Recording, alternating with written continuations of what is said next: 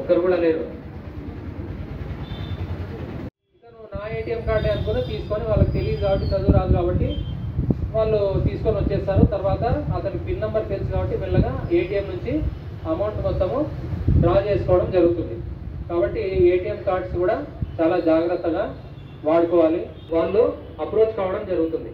మనము ఈ విధంగా అప్రోచ్ అవుతాడని మనం చెప్పలేము కాబట్టి బ్లైండ్గా మీరు గుర్తుపెట్టుకోవాల్సింది ఏమంటే ఎవరైనా వ్యక్తి మన బంధువు కాకుండా మన మన తల్లి తండ్రి లేదా మన క్లోజ్ ఫ్రెండ్ కాకుండా ఎవరన్నా మీకు మేలు చేస్తాను ఎవరన్నా మనకు మన మనం ఎవరో తెలియకుండానే మనకు వాళ్ళు ఏమీ ఆశించకుండా ఎవరైనా సహాయం చేసే వాళ్ళు ఉన్నారా ఈ కాలంలో?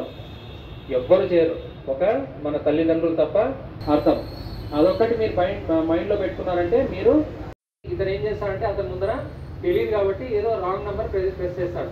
ఆ pin number correct pin number గుర్తుపెట్టుకొని ఇప్పుడు పోలీస్ డ్యూటీస్ గురించి తెలుసు పోలీస్ ఏమేమి తెలుసుకున్నాం మనం ఈరోజు?